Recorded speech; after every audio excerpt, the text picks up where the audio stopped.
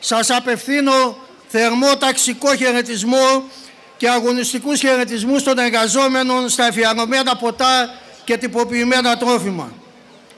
Από εδώ την εργατομάνα Θεσσαλονίκη, την πρωτεύουσα της οικονομικής ύφεσης, της αποβιομηχάνης και της ανεργίας, στέλνουμε μήνυμα ελπίδας και αγώνα προς όλους τους εργαζόμενους σε κάθε γωνιά της πατρίδας μας. Η εργατική τάξη δοκιμάζεται σε όλη την Ευρώπη. Στη χώρα μας η ανεργία, η απασχόληση, η μαύρη εργασία, η φτώχεια, οι επιθέσεις ενάντια στα δικαιώματα των εργαζομένων έχουν πάρει ανεξέλεκτη μορφή. Και η κυβέρνηση Μητσοτάκη, εκφράζοντας τα πιο σκληρά και αντικοινωνικά τμήματα της ελληνικής εργοδοσίας, προχωρά ακάθεκτη σε ακόμα μεγαλύτερη ισοπαίδωση των εργασιακών δικαιωμάτων. Ο κόσμος της εργασίας οδηγείται όλο και πιο κοντά στις συνθήκες ενός απάνθρωπου εργασιακού μεσαίωνα. Η ακρίβεια και ο πληθωρισμός που καμπάζει μειώνουν ακόμα περισσότερο το διαθέσιμο εισόδημα του εργαζόμενου λαού. Τα είδη πρώτης ανάγκης και τα τρόφιμα ακριβένουν καθημερινά. Ο χειμώνας που έρχεται αναμένεται να είναι πολύ δύσκολος για την εργατική και λαϊκή οικογένεια. Συναδέλφους και συνάδελφοι, για τα χρόνια που έρχονται προμηνύονται κοινωνικές εντάσεις και γι' αυτό τα Υπουργεία της κυβέρνησης Μητσοτάκη σκαρφίζονται καθημερινά νέα αντεργατικά μέτρα που είναι συνέχεια των προηγούμενων κυβερνήσεων για να εξυπηρετήσουν και να διασφαλίσουν τα συμφέροντα των εργοδοτών. Νομοθέτησαν ήδη παράταση του χρόνου εργασίας έως και το 74ο έτος που ετοιμάζουν το έδαφος για νομική κατοχήρωση των 13 ώρων την ημέρα, 78 ώρες τη βδομάδα και φέρνουν ως δικαιολογία την υποτιθέμενη ελεύθερη επιλογή του εργαζόμενου. Προσπαθούν να ρυθμίσουν τα εργασιακά με συμβάσεις μηδενικών ωρών για να μπορεί ο εργοδότης να απασχολεί τους εργαζόμενους όποτε θέλει και όσο θέλει. Και οι αμοιβές θα είναι ακαθόριστες και θα τις ρυθμίζει κατά το δοκούν ο εργοδότης.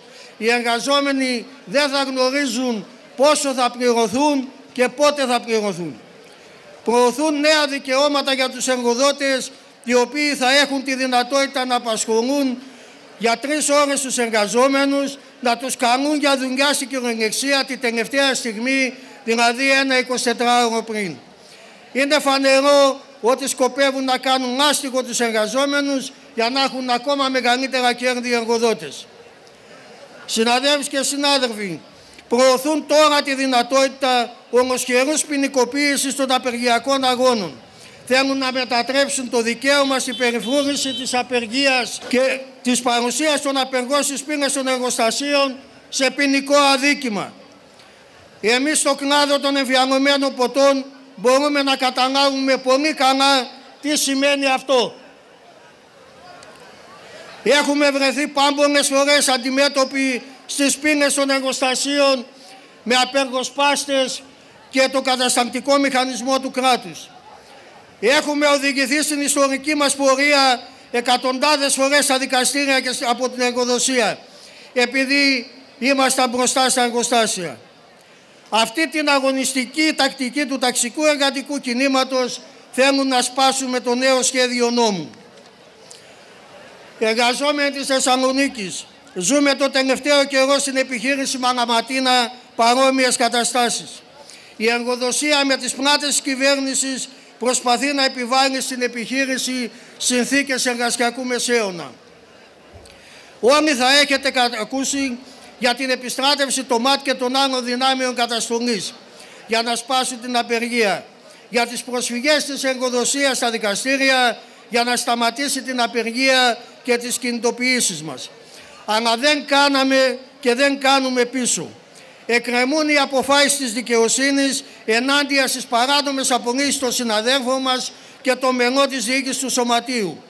Η εργοδοσία καθυστερεί τις εκδικάσεις των υποθέσεων με διάφορα τερτύπια, έχοντας και ως βοηθό της την πάγια κατάσταση στα δικαστήρια με τις καθυστερήσεις στην απονομή δικαιοσύνης.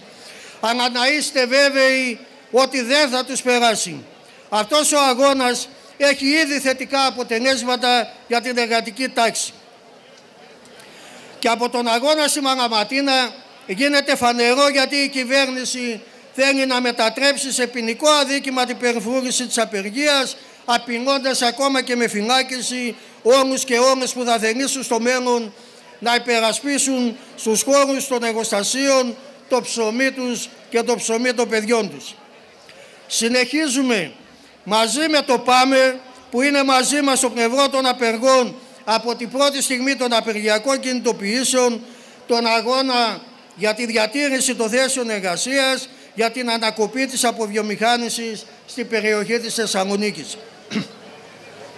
Δηλώνουμε ότι τα νέα αντεργατικά νομοθετήματα θα βρουν απέναντί τους όλους τους εργαζόμενους ενωμένους και πως το ταξικό εργατικό συνδικαλιστικό κίνημα θα τα καταστήσει ανενεργά. Απαιτούμε να μειωθεί ο ημερήσιος χρόνος εργασίας 35ωρο, 7ωρο πενθήμερο, να διασφαλίζεται σε όλους τους χώρους δουλειά η ασφάλεια και η υγιεινή, μισθούς που να ικανοποιούν τις σύγχρονες ανάγκες της εργατικής οικογένειας, προστασία του λαϊκού εισοδήματος από την ακρίβεια. Αγωνιζόμαστε για την υπογραφή συλλογικών συμβάσεων εργασίας σε όλους τους χώρους δουλειά και σε όλους τους κλάδους.